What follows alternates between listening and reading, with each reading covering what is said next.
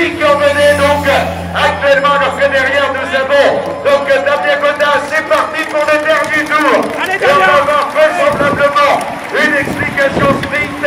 Voilà, c'est parti pour le dernier tour. On n'est pas des strictaires qui commencent bien évidemment à se placer actuellement donc le passage de, devant nous avec... Euh, allez, c'est bien, allez de Raymond Martin qui avait Del Commercec Provence Catène avec Leonardo Douquet et Julien Fares. Nous retrouvons également d'autres speakers. Voilà, pour l'instant le peloton est toujours groupé que pour l'arrivée de croire comme Romain Fénu qui avait gagné en 2011. Donc pour l'instant, avis devient de plus en plus probable.